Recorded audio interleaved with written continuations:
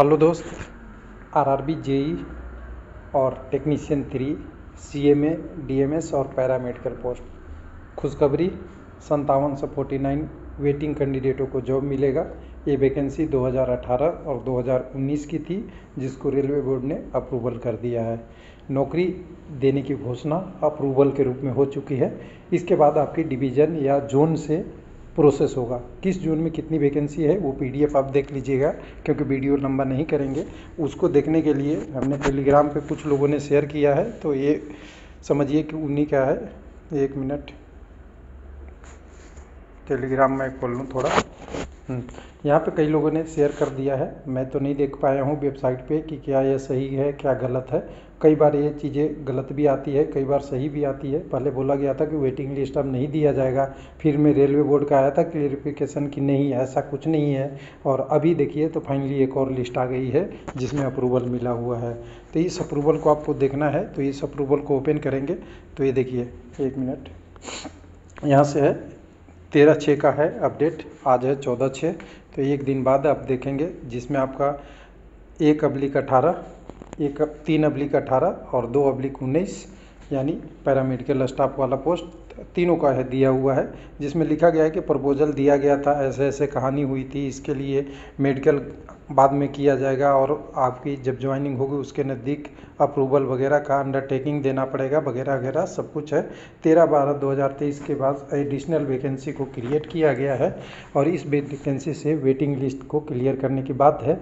तो कल ही हमने एक वीडियो बनाया था, जिसमें हमने आपसे बात किया था कि बालासोर घटना, रेलवे एक्सीडेंट या त्रासदी के बाद कह सकते हैं कि रेलवे ने इंटरनल वैकेंसी को भी भरने के बाद काम किया था तो उसका भी एक ये पार्ट हो सकता है जिसमें जो ओपन मार्केट से ऑलरेडी सिलेक्टेड कैंडिडेट हैं। सिलेक्टेड मतलब ऑल क्वालिफिकेशन पास हैं। मेडिकल का थोड़ा टाइम हो गया है तो दोबारा मेडिकल होगा। क्योंकि मेडिकल ज्वाइनिंग के नज़दीक की बात की गई है, उन कैंडिडेटों को भी लिया जाए। और ओपन मार्केट का तो अभी बात है, ये है ओपन मार्केट का भी अभी कुछ दिनों में आ सकता है। तो रेलवे लाइव के चैनल पर देख लीजिएगा, कल वाला वीडियो बोले थे कि घटना का प्रभाव तो पड़ता ही है और पॉलिसी में भी जो अल्टरनेटिव उपाय होता है, उसका यूज़ किया जाता है। तो देखिए, यहाँ सबसे पहले नॉर्दर्न रेलवे से शुरुआत है। ये नॉर्दर्न रेलवे इसको समझेंगे, जिसको आरआरबी चंडीगढ़ लेता है। आरआरबी का नाम है यहाँ पे, जिस आरआरबी ने वैकेंसी लेता है। तो नॉर्दर्न रेलवे में जो जो आते हैं, उनका चंडीगढ़ का भी है, आपका जम्मू का भी है, इलाहाबाद का भी कुछ पार्ट आता है। तीनों का है, जेई, डीएमएस और सीएमए। ये तीनों तीन अब्लिक अठारह का पार्ट है। ये टेक्नीशियन एक अब्लिक 2018 और पैरामेडिकल स्टाफ को कहेंगे तो आपका दो अब्लिक 2019 की बात है। टोटल यहाँ लिखा हुआ है तो टोटल में देखेंगे तो सबसे बड़ा टेक्नीशियन के लिए खुशखबरी है।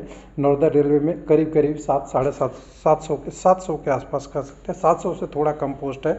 एनसीआर में थोड़ा कम है।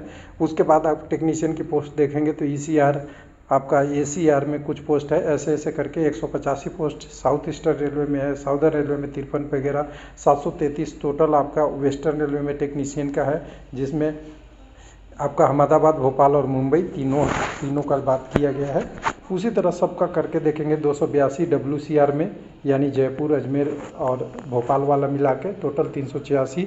इस तरह से देखेंगे तो टोटल मिला के संतावन सौ उनचास पोस्ट है।